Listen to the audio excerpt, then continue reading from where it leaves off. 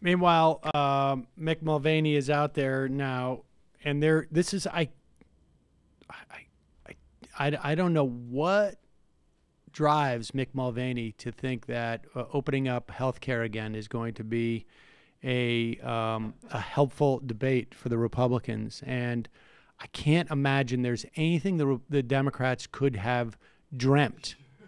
Honestly, like I think I think if somebody had gotten up in the Democratic caucus meeting when they all got sworn in uh, in January and said, "Hey, I just want to say, guys, just wait till the Repu- to the White House um, tries to repeal and replace uh, Obamacare again, because then we're gonna. This is gonna be great for us." And everybody in the room would have gone like.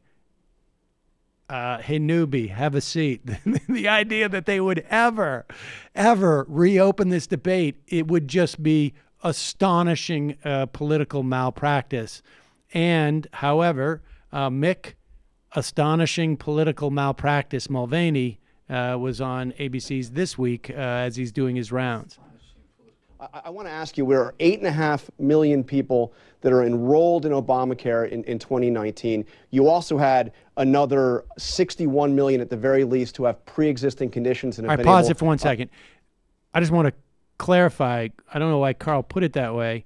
Um, there's eight and a half million who are enrolled in the um, in the exchanges. I think that number is up to like 11 and a half, but I don't know where he got the eight and a half in. But and then there's another about 10 who are um, on Medicaid as part of the expansion of the Affordable Care Act because that will go too. That is part of the law.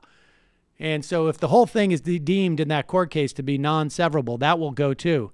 And then, of course, as um, Karl makes the point, the PP part of the PPACA is the patient protection. 61 million people are protected by uh, that provision, specifically on pre existing conditions. That's why that has such salience, because that's actually now you're talking about a big chunk of the population that is not covered by Medicare and Medicaid uh, regular Medicaid uh, and existing Medicare. Well, now you're talking big numbers now, um, and uh, and that is just a pure benefit. That's not like we've made it marginally more affordable. And so, uh, but continue existing conditions and have been able uh, to, to get health insurance in part because of the guarantee that they can get health coverage without, you know, under Obamacare, uh, even if they have pre-existing conditions. And also about 6 million Americans who are 26 and younger are on their parents' health plans uh, because of Obamacare.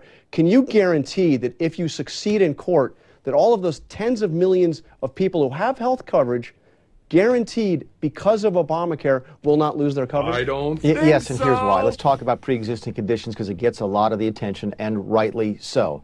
Every single plan that this White House has ever put forward since Donald Trump was elected covered pre-existing conditions. Every single plan that Republicans in the House voted on in the previous Congress covered pre-existing conditions. Every single plan considered by the Senate covers pre-existing conditions. The debate about pre-existing conditions is over. Both parties support them, and anyone telling you anything different is Don't lying to you down for my political back and gain. Tell me it's raining.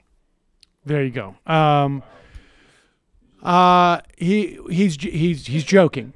It's April Fools. He, he's April Fools. He's joking about that. Um, now, uh, you don't need to take my word for it. The fact is, is that the pre-existing conditions forces insurance private insurance companies to basically destroy their business model, which is let's insure people who will never use our product. And if they use our product too much, we boot them off for uh, for going over the lifetime cap limits or the yearly cap limits, or the way that we cut down on the odds that this person's going to need our services to make sure that they're not sick as they enter in, because you know one one fifth of the uh, population is you know has had uh, problems in the past, which is a um, actuarially a an indicator that they may have problems in the future, and so we can boot them off. Uh, and that is that's the whole game. There is you know that you you need to basically say to insurance as a an institution, um, you can't discriminate. Everybody gets it, and private insurance, there's no business model for that To the extent that there is a business model, they have to lay off the costs on the government. So the government has to subsidize it. And that's what's happening in the exchanges. Or the employer has to subsidize it.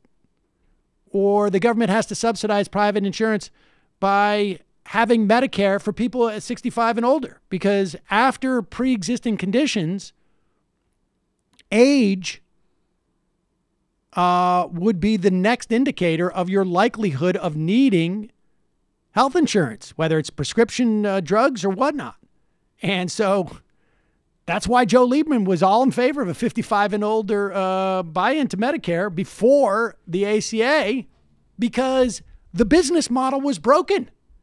As the baby boomers aged, the business model became untenable. It was great when all the baby boomers were 30 and there were less people who were, you know, ages 40 to 65. The business model was better, but it was untenable. And so this is just a business that cannot work without uh, government subsidies. And so if we're subsidizing these uh, the companies at one point, you're just like, well, why? why? Why every dollar we give them, we're basically flushing 20 cents down the down the toilet. We want to tap into the miracle of the profit motive, Sam. I mean, it's literally we're Competition flushing would start kicking in. probably more technically 16 cents per dollar down the toilet and getting a subpar product to boot. yeah, but what about the post office? They're- That's not too they're nice. co- They're competing to see who can rip people off the worst. Yeah, but if you think about it, That is what- what literally does their business do? model. That's how they're rewarded by uh, by the stock market, which then just feeds a, a handful of people who um, whose whose uh, compensation is a function of that. Well, so people could always decide to not go to the doctor. So if they were good consumers, if they were good consumers.